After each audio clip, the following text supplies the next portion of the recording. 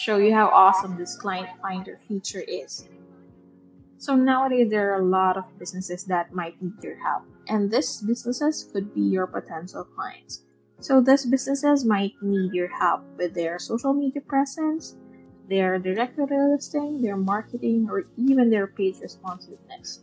So where can we find these clients? So with this client finder feature, you can easily do it with just a few clicks.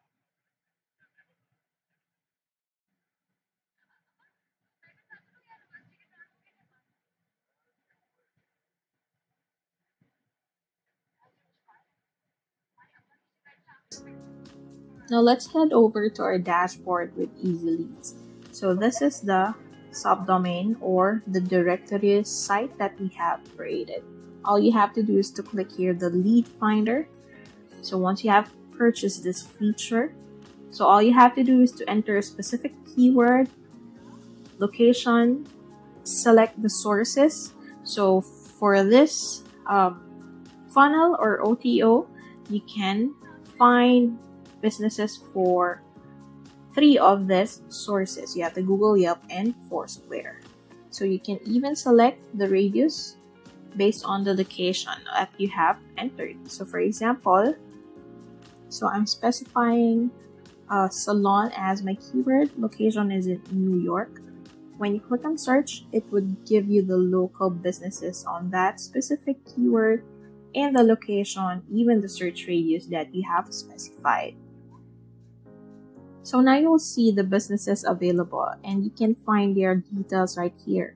So you have the option to view their website, their addresses, their business hours, all the details that they have put on their website is available. So let's say here they don't have their PDF menu or whatever offers or services that they have. So you can directly contact them and tell them, hey, um, you're listed on our directory and you might want me to offer this specific service to you. In addition, it's very awesome that you can check here their page speed and responsiveness. So it might take two to five minutes for that.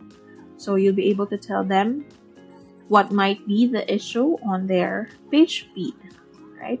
So when you check out the other businesses, you might find them optimized or not optimized depending on what they have uh, on their uh, website.